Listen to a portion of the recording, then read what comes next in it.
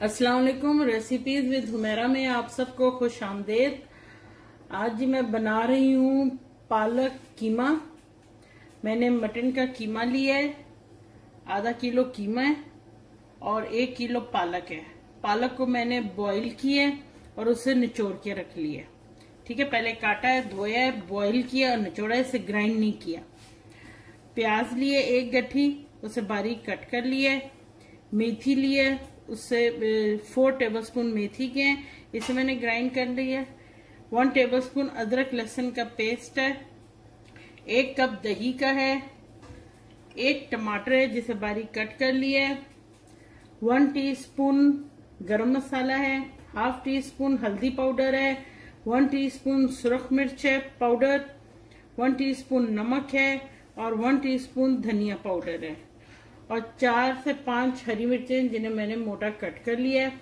एक cup oil है, वो मैंने पैन में डाल लिया ठीक है, कढ़ाई में। ऑयल को हम गर्म कर लेते हैं। सिंपल, बहुत ज़बरदस्त बनता है, लेकिन बहुत आसान रेसिपी है। इसमें सबसे पहले हम डालेंगे लहसुन सॉरी प्याज। और इसे सौते करेंगे। ये देखें जी, प्याज सोते हो गई है। अब डालेंगे हम इसमें लहसुन, अदरक का पेस्ट। और साथ डाल देंगे हम कीमा।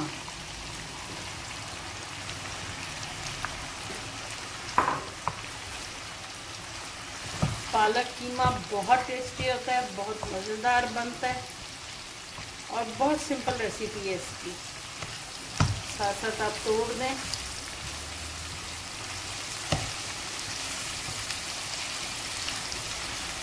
मैंने कीमे को डबल पिसवाया हुआ है।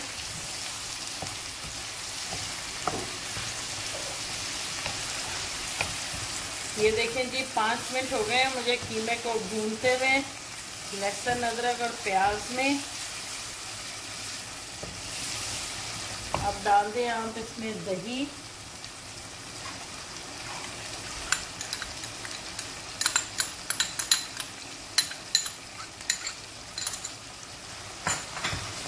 ताकि कीमे की जितनी भी बिसान वगैरह है वो ख़त्म हो जाए। ये देखें, ये भूनता जा रहा है। आपने इसमें लो फ्लेम पे नहीं पकाना, तेज आँच पे पकाना अब डालें आप इसमें नमक, सुरख मिर्च, हल्दी और धनिया। और इसे अच्छे से मिक्स करें।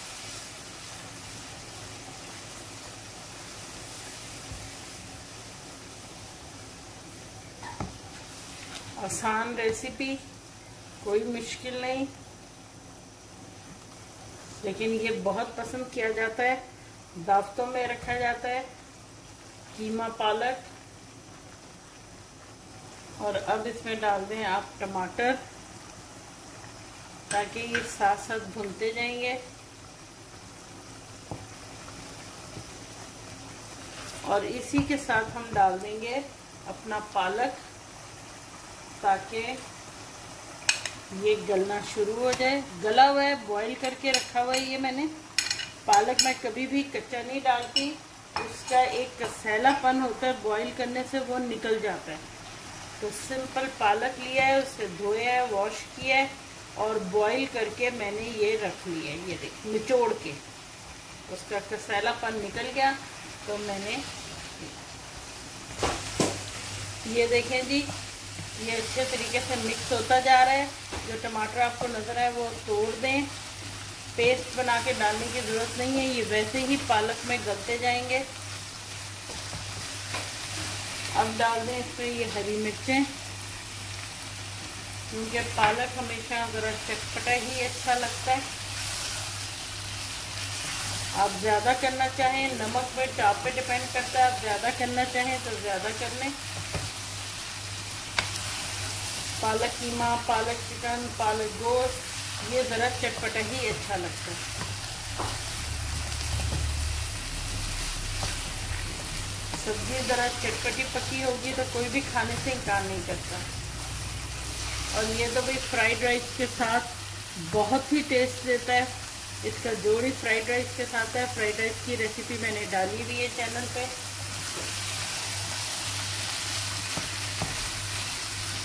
और अब डाल दें ये मेथी। और ये मिक्स करें। ये देखें ये अच्छे तरीके से मेथी वगैरह सब मिक्स हो गया अच्छा अब एक इंग्रेडिएंट रह गया है गरम मसाला, ये हम बाद में डालेंगे। सबसे पहले हम इसका नमक चेक करेंगे।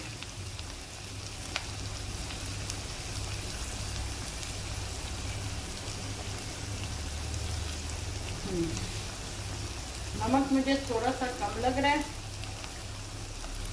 तो वन टीस्पून में नमक और डाल रही ठीक है? बाकी मिर्चें फ़र्स्ट क्लास हैं। और इसे अच्छे से मिक्स कर देंगे।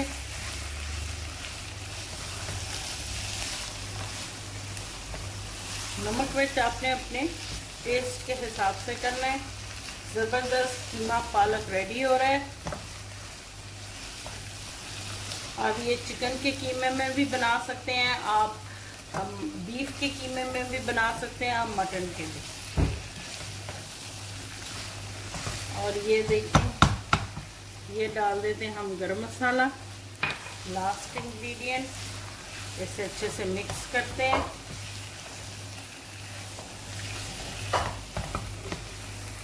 ये ज़्यादा नहीं पकेगा, क्योंकि पालक भी बॉईल हुई हुई है, निचोड़ी हुई है अच्छे तरीके से।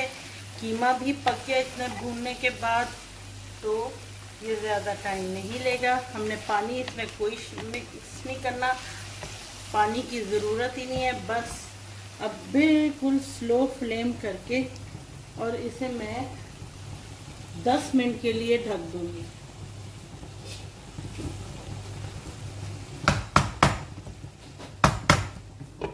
दस मिनट के बाद मैं आपको इसकी पोजीशन दिखाती हूँ। ये देखें जी, दस मिनट हो गए हैं। और ज़बरदस्त खुशबू आ रही है। हमारा कीमा पालक रेडी हो गया है। ये देखें कितना अच्छा पक गया और अब मैं आपको इसे सर्विंग प्लेट में डिश आउट करके दिखाती हूँ। ये देखें जी, मैंने डिश आउट कर लिया है। ज़बरदस्त पालक कीमा रेडी हुआ है। आप इसे फ्राइड राइस के साथ खाएँ तो अजब देगा। नान, रोटी, चपाती, हर चीज़ के साथ ये बहुत टेस्टी लगता है। अगर मेरी ये रेसिपी आपको पसंद आई है तो मेरे चैनल को सब्सक्राइब करें लाइक करें बेल आइकन को दबा के मेरी हर आने वाली नई वीडियो को सबसे पहले देखें। इनशाला नेक्स्ट टाइम मुलाकात करते हैं। अल्लाह हाफिज।